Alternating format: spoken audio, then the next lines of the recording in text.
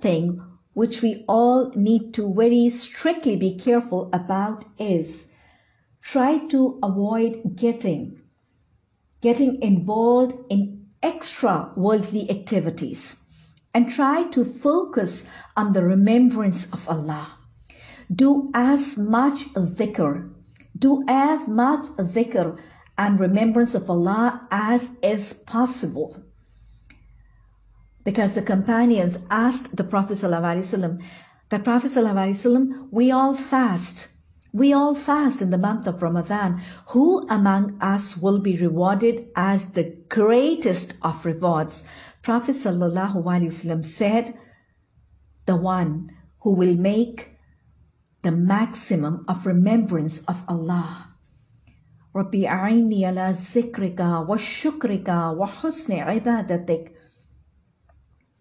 so, remembrance of Allah will be in the form of recitation of Quran, in the offering of Salah, in the offering of all the supererogatory Salah of Ramadan, and then in the form of the supplications of the morning and the evening is taught by Prophet ﷺ and the supplications or the recitations after Salah as have been taught by the manner of the Prophet ﷺ and then in all, all our daily activities, the, the du'as and the words taught by the Prophet ﷺ before sleeping, before, before we get up from bed, before going to the washroom or before leaving our house, entering our house or eating or drinking or whatever, or dressing up or taking off our clothes. So this will be, this will be a continuous form of remembrance. So from now, today, start getting into the habit of doing all that. So by the time we get or we enter into the month of Ramadan,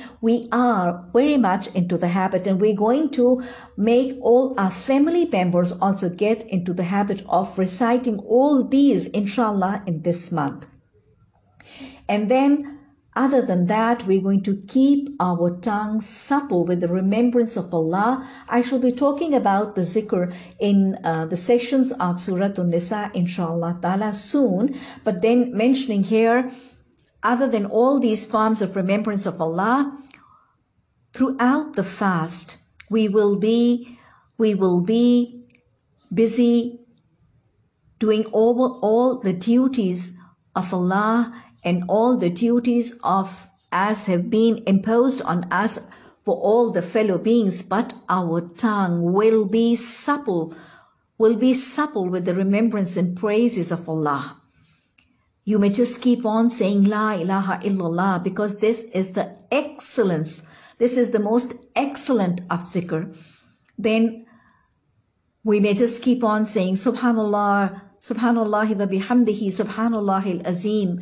This is what? This is, this is the verse by which the angels praise Allah subhanahu wa ta'ala. And I will be talking about the excellence of all of these inshallah in our, in our sessions to come.